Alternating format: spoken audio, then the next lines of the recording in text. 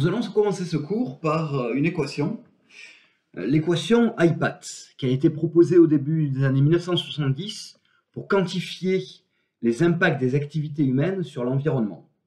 Alors selon cette proposition, l'impact environnemental est le produit de trois facteurs principaux. La population mondiale, P, c'est-à-dire le nombre d'habitants sur Terre, le terme anglais affluence, A, qui est la consommation moyenne de produits et de services par individu, membre de cette population. On retrouvera ici tous les produits et les services utilisés et consommés par l'humanité. Par exemple, les voitures pour la mobilité, l'alimentation, le bien de consommation ou l'énergie. Enfin, le facteur T pour technologie exprime, lui, l'impact généré pour fabriquer et utiliser ces produits et ces services. Donc si nous multiplions chacun de ces trois facteurs, nous avons l'impact total des activités humaines sur l'environnement. Et donc chacun de ces facteurs euh, permet d'influer sur cet impact. Alors aujourd'hui, il est communément accepté qu'un grand challenge de l'humanité est de limiter l'impact sur l'environnement. Dans la deuxième partie du cours, nous reviendrons sur les trois facteurs de l'équation IPAT pour limiter cet impact et nous intéresserons plus précisément au facteur T. Avant toute chose, il est intéressant de comprendre quels sont ces impacts environnementaux. Un impact environnemental est une modification de l'environnement résultant totalement ou partiellement des activités, produits ou services d'un organisme. Un impact environnemental a donc une cause anthropique et un effet environnemental. Il y a donc euh, un impact environnemental lorsqu'une substance, en général une molécule, hein, franchit la frontière entre l'écosphère, l'environnement qui nous entoure, et la technosphère. Il peut s'agir soit de l'émission d'un polluant généré par la technosphère vers l'environnement, ou alors l'extraction d'une ressource naturelle vers euh, la technosphère. Alors, L'écosphère, euh, c'est donc l'environnement qui nous entoure. Elle est composée de quatre compartiments. Nous y reviendrons prochainement. La technosphère, c'est l'ensemble des activités et interventions anthropiques, c'est-à-dire humaines. Alors, nous allons rapidement aborder tout d'abord les problématiques liées à l'extraction euh, des ressources naturelles, qui est donc le premier type d'impact environnemental. Tout d'abord, euh, une ressource naturelle, c'est un bien ou un service provenant de la nature et pouvant être utilisé pour satisfaire les besoins des humains et des écosystèmes. Il y a une multitude de ressources naturelles utilisées par les hommes sur Terre et on peut les catégoriser de plusieurs manières. Tout d'abord, selon leur provenance dans différents compartiments environnementaux, lithosphère, hydrosphère, atmosphère, biosphère. La lithosphère, c'est l'enveloppe rigide de la surface de la Terre, comprenant la croûte terrestre.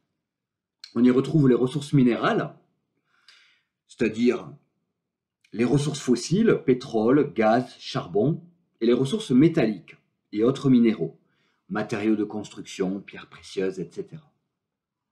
L'hydrosphère, c'est l'ensemble des zones où l'eau est présente sur Terre. Par exemple, les océans, les rivières et les lacs. Et elles contiennent donc toutes les ressources hydriques.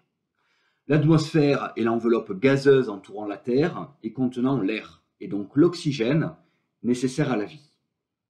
L'atmosphère est aussi le support de flux de ressources solaires et éoliennes. Enfin, la biosphère est l'ensemble des organismes vivants sur Terre et leur milieu de vie, donc la totalité des écosystèmes. Les ressources naturelles issues de la biosphère, végétaux, animaux, sont communément appelées biomasse.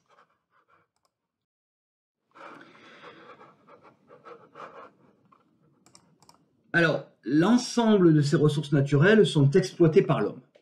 Et il est donc pertinent de les caractériser selon leur rythme de renouvellement et donc leur caractère renouvelable ou non renouvelable. Une ressource est dite renouvelable si son rythme de renouvellement est supérieur au rythme d'extraction de la ressource. Il faut savoir que le fonctionnement et le rythme de renouvellement de la biomasse sont régis par le cycle du carbone. Le cycle du carbone naturel met en jeu des échanges entre les quatre compartiments atmosphère, hydrosphère, lithosphère et biosphère. Tout d'abord, il y a des échanges de carbone entre la biosphère et l'atmosphère. Ces échanges se font dans les deux sens. Les végétaux et certaines bactéries captent le dioxyde de carbone grâce au processus de photosynthèse. Ce mécanisme permet aux végétaux de synthétiser des molécules organiques et donc de se développer. Les bactéries, végétaux et les animaux, ayant capté le carbone par la chaîne alimentaire, dégagent du CO2 par des phénomènes de respiration cellulaire durant leur vie ou de fermentation et d'oxydation une fois morts. Ces échanges sont rapides, de 1 à plusieurs années selon la durée de vie des organismes, et équilibrés. Les flux de carbone captés sont sensiblement égaux aux flux de carbone dégagés. Ceci confère un caractère renouvelable à la biomasse. Il existe aussi d'importants échanges entre l'hydrosphère et l'atmosphère, dus à la forte solubilité du dioxyde de carbone dans l'eau et de l'importance des volumes des océans. Des échanges rapides de dissolution et de dégazage sont réalisés entre ces deux compartiments. il faut savoir qu'une partie de la biomasse morte est sédimentée et fossilisée dans la lithosphère. Ces échanges sont lents et font partie du cycle long du carbone. Cette fossilisation est à l'origine des ressources minérales telles que le calcaire et les ressources fossiles, pétrole, gaz, charbon.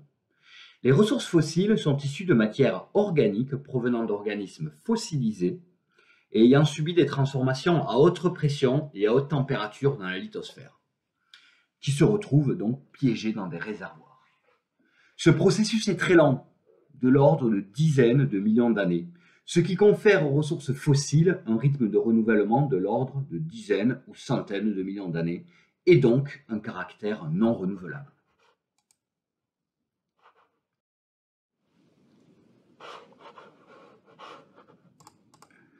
En ce qui concerne les autres sources non liées au cycle du carbone, toutes les ressources minérales, telles que les métaux, sont considérées comme non renouvelables, car leurs stocks sont finis dans la lithosphère. Les ressources hydriques, régies par le cycle de l'eau, les ressources hydroliennes et solaires sont-elles renouvelables, car elles dépendent de flux constants? Ces différentes ressources sont utilisées par les activités humaines pour apporter trois grands types de services. Énergie, matériaux, alimentation. Dans son histoire, l'humanité a utilisé de multiples ressources naturelles afin d'apporter ces services. Il, il est intéressant de revenir vers l'évolution de l'utilisation de ces ressources.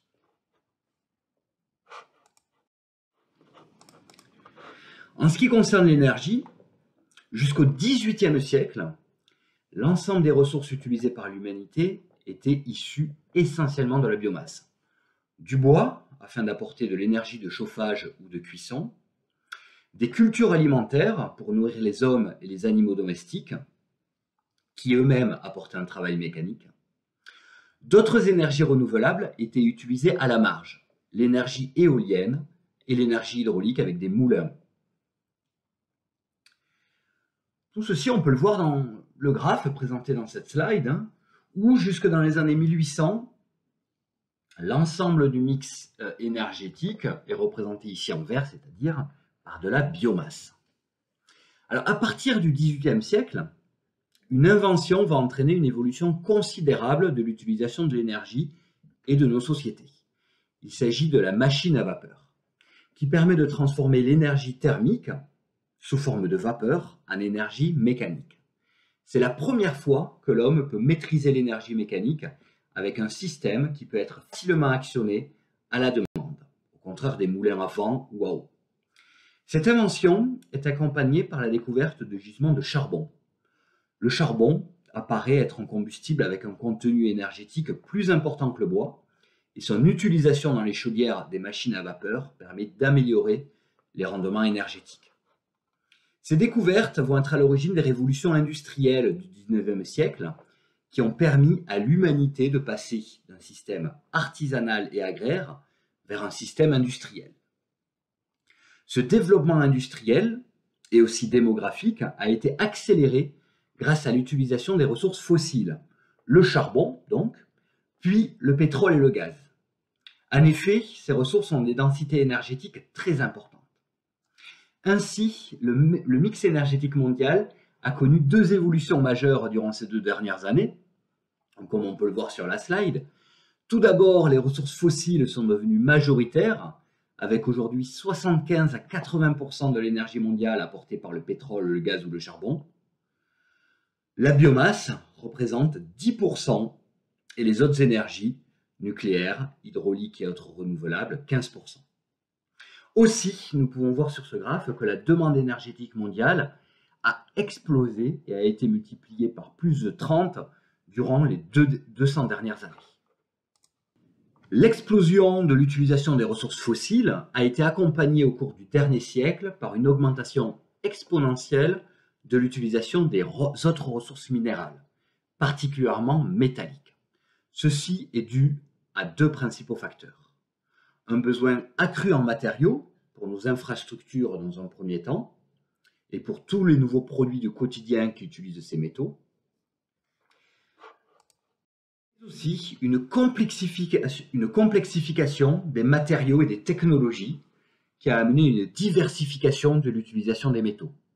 Aujourd'hui, plus de 70 métaux sont utilisés dans notre économie. Par exemple, nos smartphones contiennent plus de 60 métaux différents. Cette utilisation accrue de ressources non renouvelables a des conséquences négatives sur les stocks des ressources non renouvelables. Les quantités de ressources non renouvelables restant dans la lithosphère peuvent être définies de deux, de deux manières différentes. Les réserves prouvées sont les ressources identifiées d'un point de vue géologique et exploitables au coût actuel et selon les technologies actuelles. Et les ressources ultimes sont l'ensemble des ressources qui existent dans la, lithosphère. Les réserves prouvées sont connues et quantifiables, et on peut voir sur le tableau de cette slide qu'elles sont limitées pour les ressources fossiles et métalliques abondamment utilisées par les sociétés humaines. Donc si on se concentre sur les, ressources fossiles, sur ce tableau, et si nous prenons euh, l'exemple du pétrole, nous pouvons voir que si nous divisons les réserves prouvées de pétrole, plus de 240 gigatonnes, par la production et donc l'utilisation annuelle de pétrole sur Terre, environ 4,5 gigatonnes par an, nous obtenons le nombre d'années restantes de pétrole, 54 ans. Bien entendu, à condition que les réserves prouvées n'augmentent pas et que l'utilisation annuelle de pétrole reste stable pendant ces 54 prochaines années. Alors, pour conclure, nous avons vu que les sociétés humaines étaient principalement basées sur des ressources non renouvelables, dont les stocks sont finis dans la lithosphère. Ceci constitue la problématique majeure liée aux ressources naturelles.